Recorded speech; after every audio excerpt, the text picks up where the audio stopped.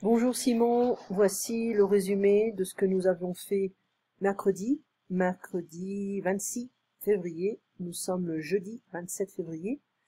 Question sur la culture française. Astérix, qu'est-ce que c'est? Eh ben, c'est une bande dessinée. À ne pas confondre avec un astérisque, astérisque, qui est un sigle graphique en forme d'étoile. Qu'est-ce qu'une papillote? C'est une friandise pour Noël. C'est un bonbon. C'est le papier, euh, c'est le papier qui, ressemble à une papillote. Ne pas confondre un poisson en papillote, c'est la méthode de, de, cuisson. Quel est le plus grand château de France? Versailles. Qui est Benabar Un chanteur, je ne savais pas. Qu'est-ce qu'un flic? Un policier. Qui est resté président le plus longtemps? François Mitterrand pendant 16 ans. Général de Gaulle, c'était pendant 10 ans, et Jacques Chirac pendant 10 ans aussi, parce que c'était le début du quinquennat. Les fines de Claire, qu'est-ce que c'est? Ce sont des huîtres. Qu'est-ce que la farandole? C'est une danse, une danse bretonne. Question sur des expressions très courantes. Que veut dire C'est entre chien et loup, c'est à la tombée du jour? Elle n'est pas née de la dernière pluie, elle n'est pas née euh, hier. Elle a de l'expérience. Il a pris une caisse, il est complètement ivre, ou alors j'ai pris ma caisse, D'ailleurs, j'ai pris ma voiture. Je ne suis pas dans mon assiette, je ne suis pas en grande forme. Ça lui a passé sous le nez, il a raté une occasion de peu. Il a raté une occasion de, euh, de trouver un travail, de voyager, euh, de gagner de l'argent. On est dans la dèche, on n'a plus d'argent. Être dans la dèche, c'est être dans la, la déchéance, la misère. Elle a mis les voiles, elle est partie. Ce sont de vraies girouettes, elle change d'avis tout le temps, ou alors on pourrait également dire qu'elle bouge tout le temps. Il est tiré à quatre épingles, il est très élégant. On s'en est payé une bonne tranche, on s'est bien amusé. Je suis resté le bec dans l'eau, j'ai été très déçu. Il est arrivé comme un cheveu sur la soupe. Il est arrivé au mauvais moment. D'accord? Donc j'en ai un autre, hein, euh, il est là. Euh, D'autres cultures sur la, sur la... On a un petit problème ici. Euh, quelques d'autres questions sur la culture générale, la culture française, etc. Donc on, on en parlera. Euh, voilà. Alors, pour revenir, j'ai mon chat qui m'embête, c'est pour ça que je suis un peu embêtée. Euh, voilà, French accent. Donc tu as reçu l'art de la conversation à la française et tu as reçu également, ça tu l'as déjà, on en avait déjà parlé. Et tu as reçu également les bistrots, une réflexion sur la culture française. Et on avait, alors tu peux, tu peux euh, regarder un peu ce qu'il y a, il y a beaucoup de choses. Le coin des branchés, le vin oui, mais avec modération. Pourquoi c'est si important en France? Le vin est si important en France euh, qu'il est parfaitement acceptable de boire un verre par jour ou deux, pas trois. Un verre ça va, trois, trois verres, bonjour les dégâts. Un verre ça va, trois verres, bonjour les dégâts.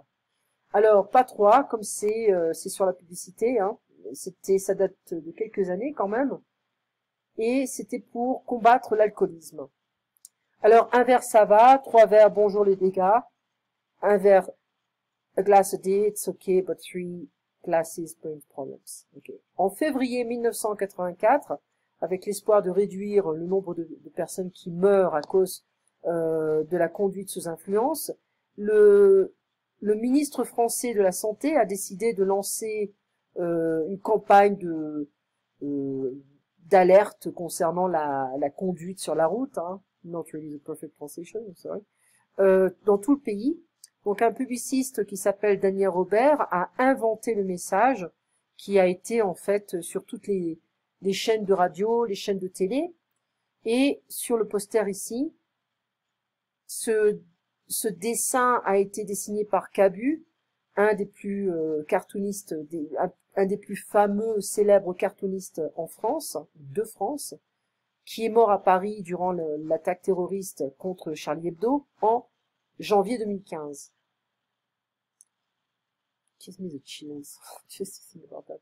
Euh, la plupart des Français euh, connaissent encore cette expression et utilisent connaissent et utilisent encore cette expression. Un verre ça va, trois verres, bonjour les dégâts. Tu t'es vu quand t'as bu? It's like have you seen yourself when you've been drinking? when you drunk. C'est une autre campagne qui a été lancée en 2011, un peu plus tard. Donc le slogan qui est principalement dirigé ou qui cible directement les, jeunes, a été inventé, aussi également inventé par Daniel Robert. Et euh, c'était principalement euh, sur la télé, à la télé. Et il a été récemment interviewé, il a dit que euh, il n'est pas très convaincu que ce genre de campagnes sont vraiment efficaces.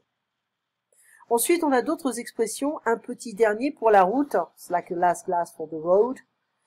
a last one for the road. Cette expression est une démonstration parfaite du manque euh, d'efficacité euh, des campagnes euh, routières.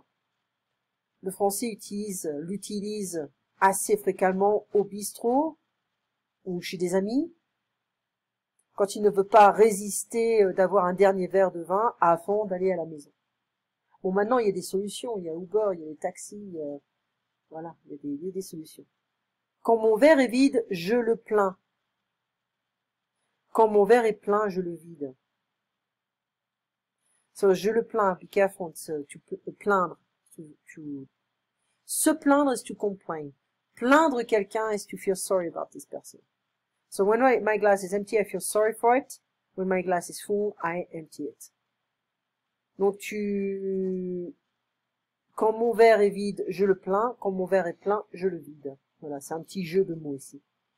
Quand le verre est tiré, il faut le boire. Alors littéralement, ici était plein, to feel sorry for, to, to pity, plein, fou. So littéralement, quand le verre a été euh, embouteillé, euh, il doit être euh, il doit être bu. L'idée derrière cette expression est la même, mais la signification est différente. Une fois que vous avez mis dans votre main put your hand to the clothes, they are not turning back. Uh, so when you have started something, you're committed to do it, you have to do it. En fait, ce qu'on dit en français, c'est que quand on a ouvert la bouteille, euh, il faut finir la bouteille. Hein, on peut pas garder le vin pour plus tard. Et, je trouve que j'ai connu quelqu'un qui faisait ça, qui, gardait le vin pour plus tard. Bon, le, le goût est différent et euh, c'est pas vraiment une tradition. Nous, on finit la bouteille, c'est tout. Voilà. Euh, j'ai vu des gens qui mettaient euh, la bouteille euh, ouverte dans le frigo, chose que c'est pas vraiment acceptable. Donc ça, ce sont des dictées, dictation. Hein, tu peux faire ça.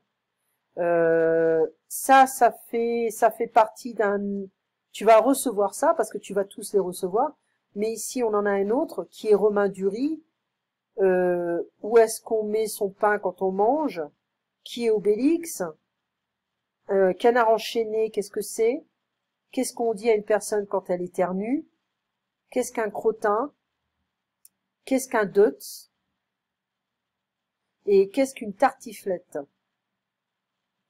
Les expressions, maintenant, il cherche midi à 14 heures, j'en ai gros sur la patate, il a pris de la brioche, elle a pris ses clics et ses claques, elle saute tout le temps du coq à l'âne. Il y a de l'eau dans le gaz. J'ai passé l'éponge. Nous avons mis les bouchées doubles. Il me donne du fil à retordre. Il me court sur le haricot. Elle prend des vessies pour des lanternes. Il voit rouge. D'accord? Alors ça, c'est euh, page 9 du, même magazine qui date de octobre-novembre 2019. Voilà. Voilà pour le résumé Simon, on se voit demain à 8 heures et tu passes, euh, tu passes une très bonne journée. À demain.